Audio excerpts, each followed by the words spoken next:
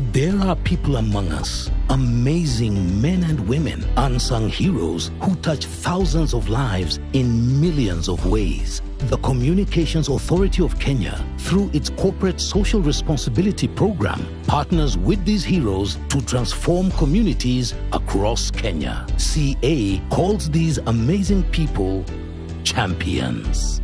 The media are a critical resource in national development.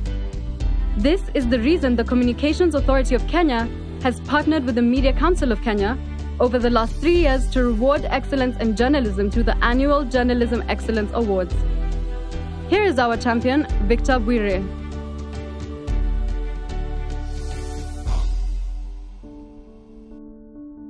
The fundamental requirements of a journalist is to hold people accountable, to play the watchdog role.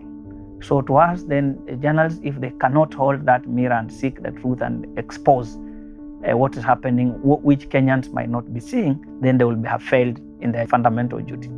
My name is Victor Bwire. I work at the Media Council as the Programs Manager, a portfolio that also includes the annual Journalist of the Year Award. Before 1992, we only had one TV station in the country. But when they liberalized the market, we now have over 50 TV channels.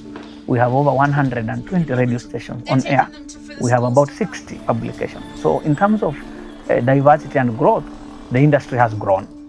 But at the same time, as, as the industry grows and we have many radio stations, TV stations, and other online publications, what has happened is that also the demand for professional journalists has also placed a lot of pressure on the industry so that many of the media stations we are not getting professionals and that has affected the quality of journalism. The Journalist of the Year Award was started as a way of recognizing best performing journalists and rewarding them for the good work they are doing. There was a feeling that not, nothing much was being done to help recognize the potential of our journalists locally. So what we thought is that we come up with a system of recognizing and appreciating those who are doing professional work. The Media Council of Kenya got involved uh, with the Communication Authority of Kenya to support the AJEA because under the constitution we share mandate. We are even under the same ministry. So while discussing how we can improve journalism in Kenya, we felt that we need bodies that are involved to come together to help us in recognizing journalists.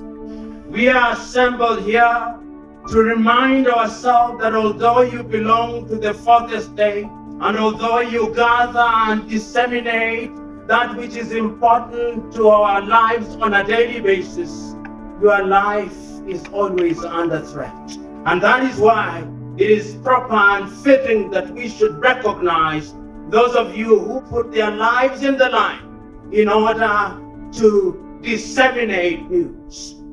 And the winner is Isaac Swila.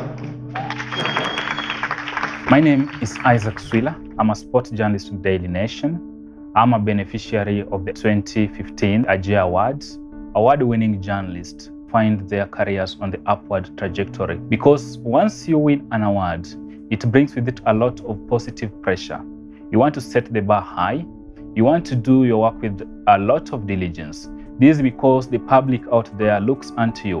I want to thank Media Council of Kenya and the Communications Authority for having found it fit to fit journalists annually during the AJEA Awards. Some of the people who have won locally in the AJEA have also gone on to win at an international level. So to us, it's a good indication that the AJEA is motivating journalists to do well because they know at the end of the day, somebody will recognize their effort.